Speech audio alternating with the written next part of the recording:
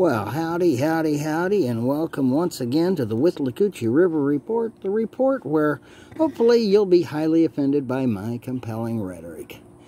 Yes, today I am messing around with my trains. We had a bunch of appointments over this week, so I haven't had to, I haven't been able to work much this week.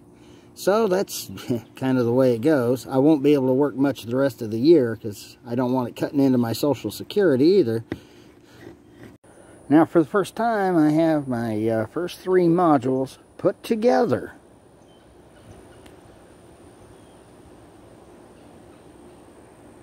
No, the buildings aren't mounted permanently and neither are the vehicles that are on the on the modules.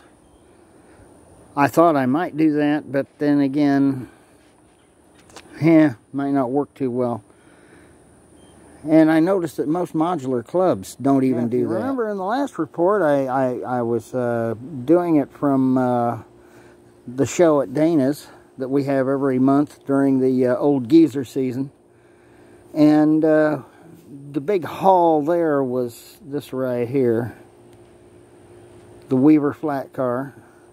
It's uh, about a 52 foot flat car. I like it. I like the car. Uh, it was easy to convert over to two rail, of course.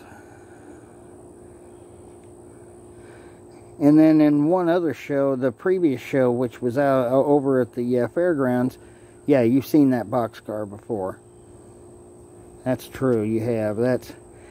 I'm gonna. It looks like I'm gonna have to take and switch those couplers over to KDs for sure because they are just not really mating up with the KDs.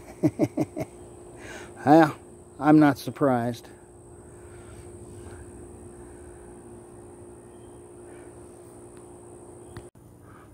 Uh, one of the reasons I'm not running trains at this time is because uh, I'm just now getting these jumper rails in.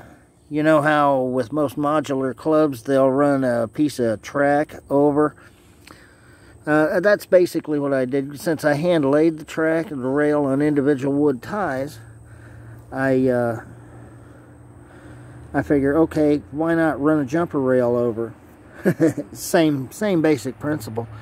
However, with the uh, modules 1 and 3, I'm running it all the way to the edge, and then the modules that run in between will have it cut back, and then I can just use a short piece of rail with some rail joiners on it to join the uh, to join the tracks together. No more than about two and a half, two and a quarter, two and a half inches works just fine. And yes, the cars roll over it beautifully. Yeah, the next thing coming up, hopefully in the Trash to Treasure series, will be uh, creating a load for said flat car. Uh, some kind of covered load, I would think. Flat cars are kind of cool with covered loads. Uh, getting some other details on here. I don't know what I'm going to do for trees on here. Uh, maybe make little modules that'll fit onto the modules or something of that nature. I know the next module I plan on building is going to be what I call the bridge module, and it will include a bridge. I have three basically Lionel bridges.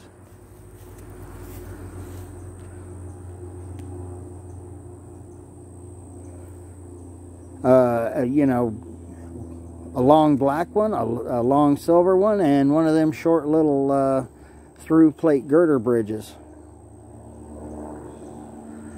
But now I have these together, and that's that makes up a 12 foot length run there, which, while that may not sound like much, it's better than nothing. That's really all I got this time. Until next time, happy railroading.